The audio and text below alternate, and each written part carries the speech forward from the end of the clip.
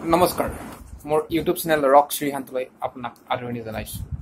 আৰু আজিৰ টপিকটো মই আলোচনা কৰিব ওলাইছোঁ।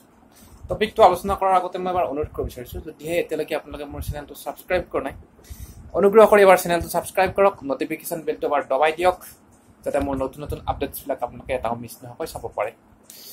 ইনফৰমেশ্যনখিনি ভাল পালে শ্বেয়াৰ কৰিব লাইক কৰিব। ধন্যবাদ। মই এটা চৰাই কিনিছোঁ প্লাষ্টিকৰ চৰাই। চাব দেই কেনেকৈ খোজকাঢ়ে। খোজকাঢ়া বাবা। ৰ'ব খোজকাঢ়িব দেখুৱাই আছোঁ ভালকে খোজকাঢ়ি দেখুওৱা কামন কামন কামন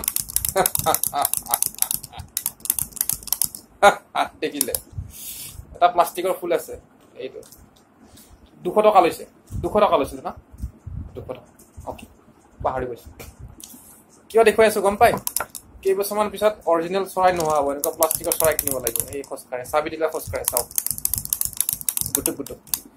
অৰিজিনেল ফ্লাৱাৰ্ছ নোহোৱাব ফুল নোহোৱা নোহোৱাব গছ নোহোৱাব পানী নোহোৱাব এনেকুৱা প্লাষ্টিকৰ ফুলবিলাক সজাই থ'ব লাগিব ড্ৰয়িং ৰুমত আৰু এতিয়া বৰ্তমান জুলাই দুহেজাৰ ওঠৰ আজি হেৰি তাৰিখ হ'ল আপোনাৰ বাইছ তাৰিখ বিছ তাৰিখ। বিছ তাৰিখে ইমান গৰম ৰ'ব নোৱাৰে। মানুহ পাগল হৈ গৈছে। চ' বেছিদিন নাই পৃথিৱীখন শুকাই পেলাই মৰুভূমি হ'বৰ কাৰণে। এতিয়া কোৱা হৈছে গোটেই বিশ্বত জুৰি মানে আপোনাৰ এইবিলাক হৈ আছে। চবেই ৰিচাৰ্চ কৰে গ্ল'বেল ৱাৰ্মিং কিবা কিবি কৈ থাকে এইবিলাক।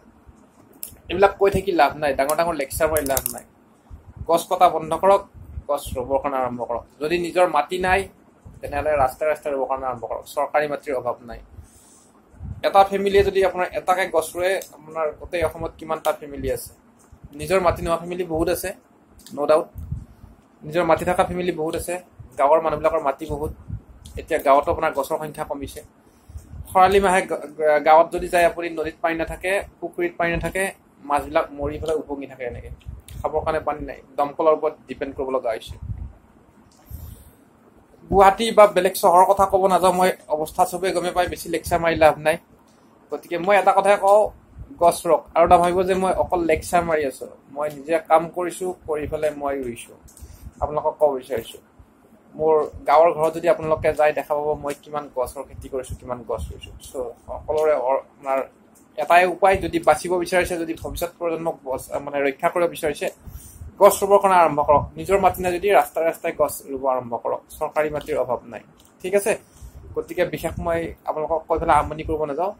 অতি শীঘ্ৰে গছ ৰোৱা আৰম্ভ কৰক আৰু এনেকুৱা যিবিলাক সম্ভাৱ্য বিপদ আহি আছে তাৰ পৰা নিজকে ৰক্ষা কৰক। ধন্যবাদ।